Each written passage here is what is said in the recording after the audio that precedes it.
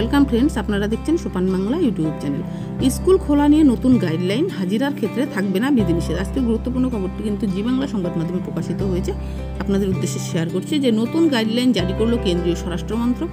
Unlock ফাইভের guideline মোতাবেক পনেরোই অক্টোবরের পরে গ্রেড পদ্ধতিতে স্কুল এবং কোচিং সেন্টার পুনরায় খোলার বিষয়ে সিদ্ধান্ত নেওয়ার ক্ষমতা রাজ্য এবং কেন্দ্রশাসিত অঞ্চলগুলিকে দেওয়া হয়েছে। বৃহস্পতিবার কেন্দ্রীয় শিক্ষামন্ত্রী রমেশ পোখরিয়াল বিদ্যালয় পুনরায় খোলার বিষয়ে গাইডলাইনগুলির জন্য সরকারকে ধন্যবাদ জানান।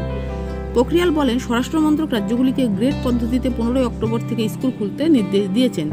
বিদ্যালয় পুনরায় চালু করার অনুমতি পাওয়ার জন্য আমি স্বরাষ্ট্রমন্ত্রীর কাছে কৃতজ্ঞ। গাইডলাইনে বুধবার কেন্দ্রীয় স্বরাষ্ট্রমন্ত্রক বলেছেন, বিদ্যালয় পুনরায় খোলার বিষয়ে পরিস্থিতি, তাদের মূল্যায়নের ভিত্তিতে সংশ্লিষ্ট স্কুল বা প্রতিষ্ঠান পরিচালকের সঙ্গে পরামর্শ করে সিদ্ধান্ত নেওয়া হবে।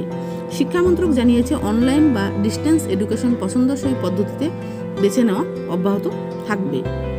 কেন্দ্রের আদেশ অনুসারে পনেরোই অক্টোবর থেকে সারা দেশের স্কুলগুলি পুনরায় চালু হবে। তবে কিছু স্কুল বন্ধ রাখতে চাইলে তারাও সেটিকে বেছে নিতে পারে। কেন্দ্রীয় স্বরাষ্ট্রমন্ত্রক শুক্রবার এক নতুন গাইডলাইন জারি করে জানিয়েছে, পনেরোই অক্টোবর স্কুল পুনরায় চালু করা বাধ্যতামূলক নয়, অনলাইনেও ক্লাস হতে পারে। যেসব পড়ুয়ারা স্কুলে যাওয়ার বদলে অনলাইন ক্লাস করতে ইচ্ছা প্রকাশ করবে, তাদের অনুমতি দেওয়া হবে।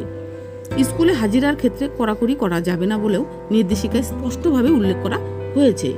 পনেরোই অক্টোবরের পর থেকে ধীরে ধীরে স্কুল কোচিং সেন্টার খোলা যাবে। অবশ্যই কন্টেনমেন্ট জোনের বাইরে। অর্থাৎ স্কুল খোলা বিষয়ে যে নয়া গাইডলাইন প্রকাশ করেছে কেন্দ্র, যেখানে কিন্তু হাজিরা বাধ্যতামূলক নয়, সে বিষয়টি কিন্তু জানিয়ে দেওয়া হয়েছে।